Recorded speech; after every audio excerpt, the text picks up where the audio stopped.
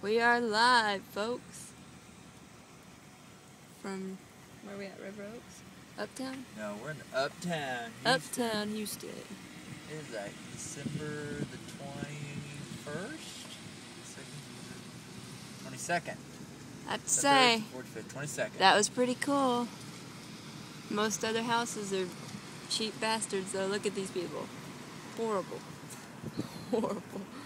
They have these big houses. They're not decorating them whatsoever. Oh, these people put little bows on the door. Man.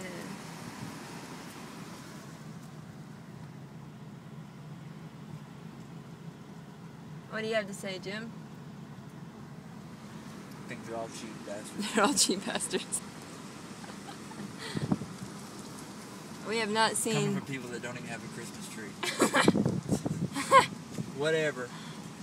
Hey, if we, uh, But we have a vibrator in the back.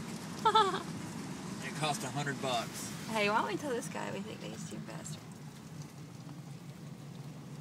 He might be the guy with all the good lights, though. That's our luck. We'd go, you're a cheap bastard. He's the only dude that fixed up his yard this year. Really nice. All right, check back later when we see something that's better.